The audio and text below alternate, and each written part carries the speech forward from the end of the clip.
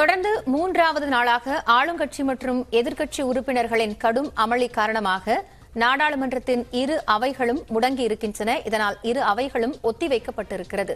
நாடாளுமன்றத்தின் இரு அவைகளும் நாளை வரை ஒத்திவைக்கப்படுவதாக அறிவிக்கப்பட்டிருக்கிறது. முன்னதாக ராகுல் காந்தி இந்திய நாட்டை அவமதித்து பேசிவிட்டதாக கூறி பாரதிய ஜனதா கட்சியினர் தொடர்ந்து அமளியில் ஈடுபட்டு வருகின்றனர். இரு கட்சிகளுக்கும் இடையே நடைபெறக்கூடிய கடும் அமளியால் நாடாளுமன்றத்தின் இரு அவைகளும் நாளை வரை ஒத்திவைக்கப்படுவதாக அறிவிக்கப்பட்டுள்ளது.